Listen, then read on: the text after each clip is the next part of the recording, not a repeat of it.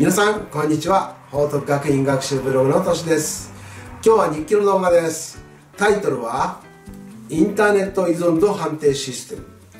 これ静岡県の教育委員会がこのネット利用者の低年齢化これに対応してこのインターネット依存度判定システムこういうサービスを提供しているんですね。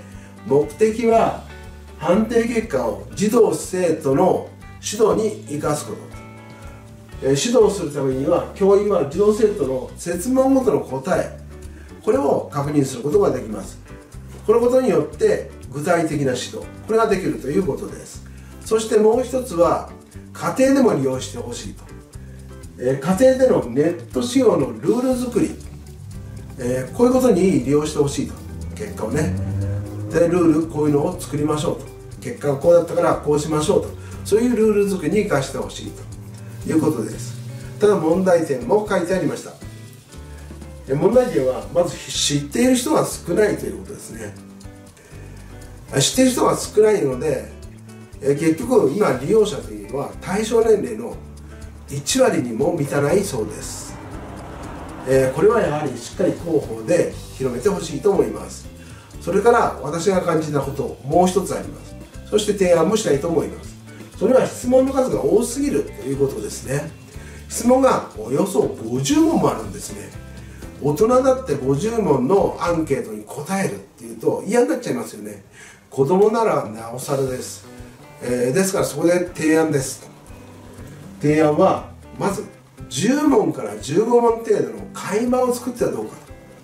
とね。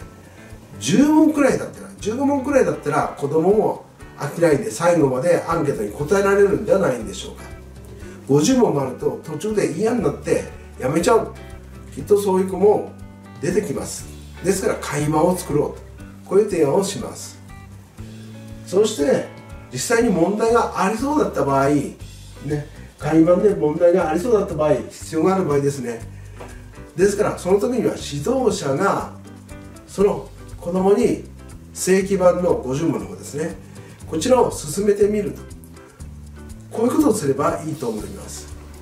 ですからまず広報で広めて会員版を作って誰でも手軽に使えるようにするこのことによって、ね、利用者もどんどん増えるのではないでしょうか。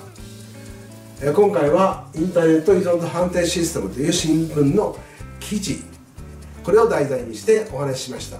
今日も最後まで見ていただきどうもありがとうございました。ではまたお会いしましょう。さようなら。